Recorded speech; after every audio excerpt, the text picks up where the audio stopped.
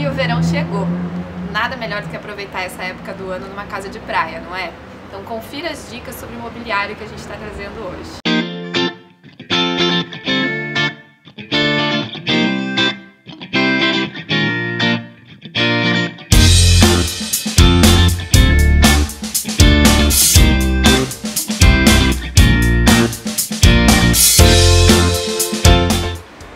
Na hora de escolher que mobiliário você vai levar para casa de praia, você precisa ter alguns cuidados. Então, saber que na praia existe maresia. A maresia pode acabar estragando muito fácil determinados materiais. Então, na hora de escolher, o alumínio é uma ótima opção, a madeira também pode ser uma opção bacana. A gente tem vários acabamentos para esses móveis também. Esses móveis podem ser feitos em fibra, podem ser feitos com corda, diferentes acabamentos que vão combinar bastante com o ambiente da praia e te trazer também algo dinâmico para dentro de casa. Além disso, tem a questão dos tecidos. Então, você tem que ter um certo cuidado nesse ambiente. A pessoa vai querer estar tá molhada e sentar. Se é uma varanda, a gente não pode ter nem dúvida do tipo de tecido que vai colocar. Tem que ser um tecido que seja impermeabilizado, como o tecido náutico.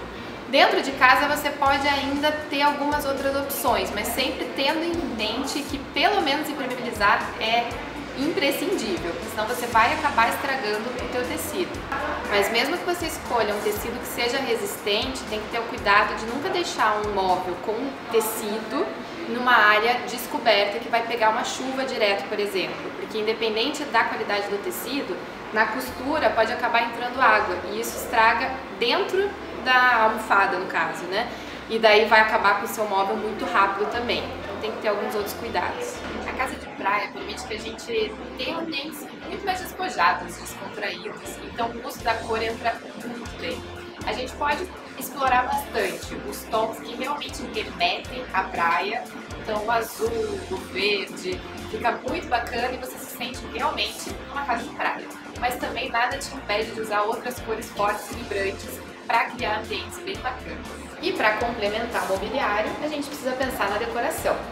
Então a gente pode pensar em objetos como vasos, trazer um pouquinho do verde para dentro de casa, em quadros, porta-retratos que tragam esse ar de família para casa também. E inclusive, por que não pensar nos peixinhos, né, que a gente gosta tanto para criar esse ar praiano. Espero que essas dicas te ajudem a mobiliar sua casa de praia e aproveitar muitas férias para começar 2019 com todo o gás. E se gostou do vídeo, curta, compartilhe, se inscreva no canal e fique ligado, porque em breve a gente vai postar mais um vídeo sobre esse assunto.